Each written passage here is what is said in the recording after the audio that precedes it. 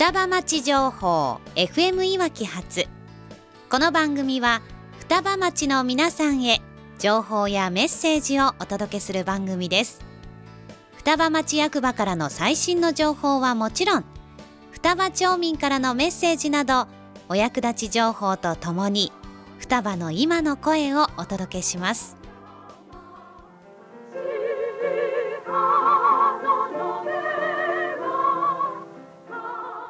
双葉郡双葉町。双葉町民の皆さんへさまざまな情報を発信している双葉町情報 FM いわき発。まずは双葉町役場からの情報です。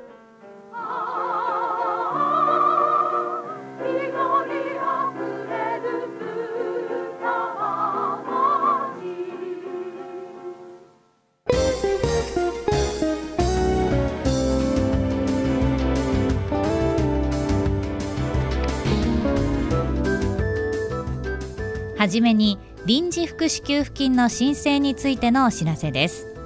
臨時福祉給付金経済対策分は消費税の引き上げに伴う負担の緩和を目的に平成29年4月から平成31年9月までの2年半分を一括して支給するものです。平成28年度住民税の課税状況等により対象と思われる方へ3月中旬から申請書をお送りしています。期限が近づいておりますので申請がお済みでない方はお早めに手続きをお願いします。支給対象者は平成28年1月1日時点で双葉町に住民票があり平成28年度の住民税均等割が課税されていない方。支給額は対象者1人につき1万5000円です。申請期限は平成29年6月30日金曜日で期限後に申請いただいた場合は支給ができませんのでご注意ください。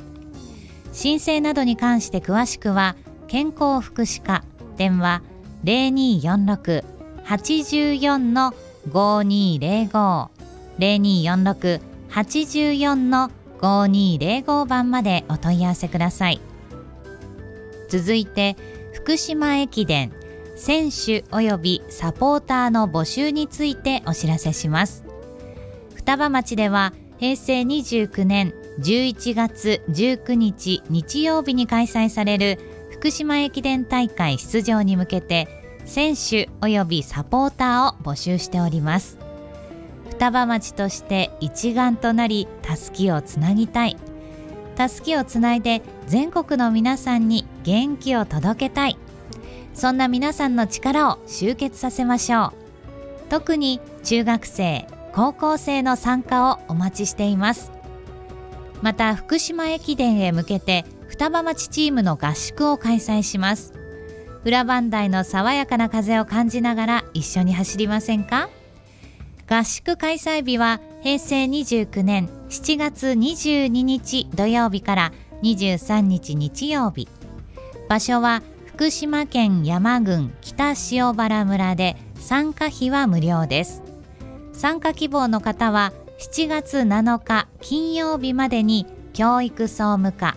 電話0246-84の5210 0246-84の5210番までご連絡くださいおしまいに生活支援課から応急仮設住宅の物品贈与についてのお知らせです復興公営住宅を含む住宅を再建された方を対象に郡山市日和田応急仮設住宅で使用していた物品を無償でお譲りします贈与できる物品はエアコンと照明器具です。贈与を受けるには福島県と物品贈与契約を結ぶ必要があるため希望する方は申請書と引き渡しまでの詳細等を記した案内文を送付しますので担当課までご連絡をお願いします。案内文申し込み期限は6月15日木曜日。申請期限は6月22日木曜日となっており物品の引き渡し期間は6月26日月曜日から7月7日金曜日です。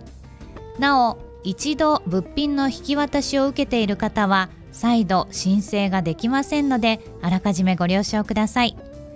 物品譲与に関する申し込みお問い合わせはいわき事務所郡山支所埼玉支所の生活支援課までお願いします。以上この時間は双葉町役場からの最新の情報をお伝えしました。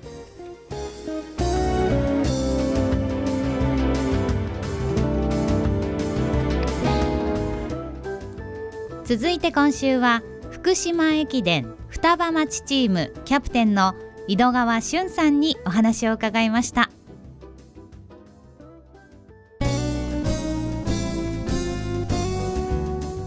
それでは今日のこの時間は福島駅伝双葉町チームキャプテンの井戸川俊さんにお話を伺います。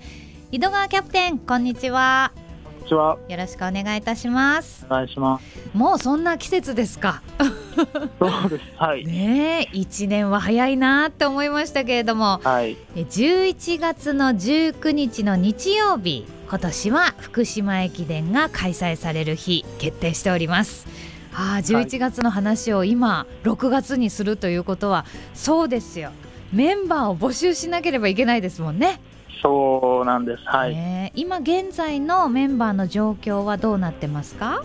はい。えーと今現在だと社会人のメンバーは足りているのですがはい。中学生高校生とはい。あとは女子がうん。少し不足しているのではい。走りたいという人はぜひ連絡を欲しいなというふうに思いますわかりました。社会人のメンバーは、まあ、あの今のところ足りているとはいえ一緒に走りたい方もいてもいいですもんね。あぜひそれはぜひぜひ、そうですね。はいそれから中学生高校生と女子が少し足りないということですからこれあの双葉町出身の方でしたら中学生高校生、えー参加していただけるってことですよね？はい、はい、大丈夫です。はいあのこの放送をお聞きの、えー保護者の皆さんご検討いただければと思います。双葉町出身の中学生高校生を大募集中です。特に女子 ということですかね。はい。はい。少しだけ足りないということですのであのではメンバーがねぼちぼち揃い始めているとは思うんですけれども11月のこの、お駅伝大会に向けて練習っていうのは今後どういう形で行っていく予定ですか？はい、えー練習はまあ避難生活なので、うん。普段は一人一人各自で練習をしてもらっているのですが、はい。7月の下旬にえー合宿を計画していまはい。この合宿っていうのは去年もやりましたね。す。はい、さあ合宿する場所ですけれどもどちらになりますか？えーと合宿は、えー北塩原村の裏磐梯ではい。裏磐梯っていうとなんかこう高原って感じでね涼しそうなイメージがありますけど7月下旬あたりはどうなんですか、7月下旬は、はいうん。涼しくて、えーうん。走りやすい環境です。はいであのね陸上の合宿って聞くともうなんかど根性物語みたいなのをちょっと想像してしまうんですけれどもどんな合宿になりそうですか？はい、えーと去年も行ったのですが、はい。去年はクロスカントリーっていうステージをうん。は走った走る練習とか、い。あとは練習が終わった後はみんなでバーベキューなどを行ったりしました。うん。楽しいこともあるんですね。はい、そこはメリハリをつけて やっています。そうねそうあのバーベキューみんなで、まあ、同じ釜の飯を食うって言いますけれどもそういう状態になるとどんどんこう絆が深まってたりしますよね。はい、特にみんな、えー離れ離れになっているので、そういうところで少しでもその絆とかをはい深めていきたいなというふうに考えています。もう本当にみんなが仲良くなって駅伝って本当心と体がもうみんなのが一つにならないと完成できないんですもんね。はい、一人でもしまうとうん。活動できないです。本当ですね。みんなに頑張ってほしい。さあ11月19日日曜日に行われる福島駅伝に向けて今メンバー大募集中ですけれども、まあ、もうすでにねメンバーいらっしゃいます。社会人の皆さんなんかは特にそうですけれどもはい、あの社会人の皆さんの意気込みはいかがなもんでしょはい、う、うん社会人の人だと50歳以上でうん。走る人もいるので、そういうベテランの胸を借りるような気持ちで若い人たちもうん。頑張っていきたいなというふうに考えています。もう今もう相当練習してるでしょうね。そうですね。ねベテランの人たちは本本当に頭が下がる一方で。す。もうねなんかそういうのをどんどん見習って皆さんにも頑張ってほしいなと思うんですが福島駅伝ってどういう駅伝なのかというと各区間ごとにこう距離数がだいぶ違うんですよね。はい、そうですね。うんえっ、と一番長いところだと10キロ近くあったり、うんうんうん女子の区間だと3キロ程度のところもあります。そうなんですよね。この本当にこうなんていうんですかね。あ、ここに来ちゃったっていうぐらいの区間の場所のね、あの走らなきゃいけない方も中にはいらっしゃるかもしれないですけれども、アンカーの方が8.4キロ男子ということで県庁前を目指して走っていくわけですね。はい、あ、ちなみに、えーキャプテンの井戸川さんはどうでしょう？どのあたりの区間を走る予定なんでしょうか？で予定だとうん2年連続で今のところアンカーを走っているので、うんうんはい。今年も多分アンカーになるのかなというふうに思います。うん。走り終えたその最後のたすきをつないだ瞬間っていうのはどういう気持ちなんですか、はい、うん。みんながつないできてくれたたすきをうん。つなぐっていうのと、あとはうん。避難生活で離れ離れになっている人たちのはい。思いもつなぐっていう、うんそういう2つの思いをうん、なんだゴールまで目指して走るという気持ちがあります。すっごいいろんな気持ちを抱えて8.4キロ最後走るわけですけれどもねその前にこう15区をね走ってくれたあ方の顔が見えた瞬間っていうのはもう格別でしょうね。そうですね。はい。で昨年の成績はいかがだったんでしょう？えーと昨年は51チーム中48位でした。ということは今年の目標はどうなるんでしょうか？今年は一つでも順位を一つ以上順位を上げたいというふうに思っています。はいもう本当にそうなるように祈っておりますので皆さん練習頑張ってください。はいそして福島駅伝双葉町チーム合宿が7月22日から行われます。みんなで一緒に合宿をして心を一つにして本番めがけて頑張っていただきたいと思います。え今日は福島駅伝双葉町チームキャプテンの井戸川俊さんにお話を伺いました。どうもありがとうございました。ありがとうございました。